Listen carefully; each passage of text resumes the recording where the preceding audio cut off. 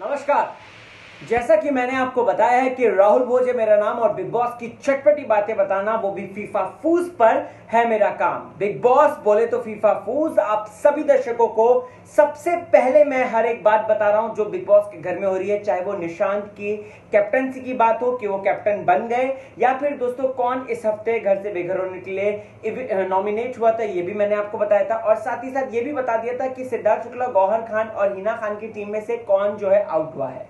अब बारी है कि निशांत की कैप्टेंसी उससे छीन ली गई है। जी हाँ दोस्तों आई रिपीट इट निशांत की कैप्टेंसी उससे छीन ली गई है।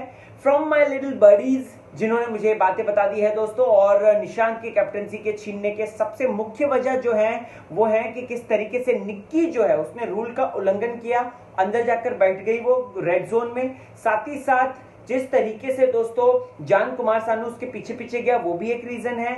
तीसरा रीजन ये है कि किस तरीके से कैप्टन का एक स्वतंत्र फैसला होता है लेकिन रुबीना यहाँ पर उसको चलाते हुए नज़र आ रही है दोस्तों जो कि मैंने आपको पास में बताई थी बात। और चौथा सबसे बड़ा रीजन ये भी है कि अभिनव के साथ मस्त इंग्लिश टॉक में बात कर रहा है। माइक नहीं पहन रहे अपने दोस्त उनके जो दोस्त है वो माइक नहीं पहन रहे उसको कुछ नहीं बोल रहा है। अभिनव से इंग्लिश टॉक कर रहा है। तो ये भाई ऐसे में कैसे कैप्टनसी रह सकती है? सो so, कैप्टनसी जो है बिग बॉस ने छीन ली है।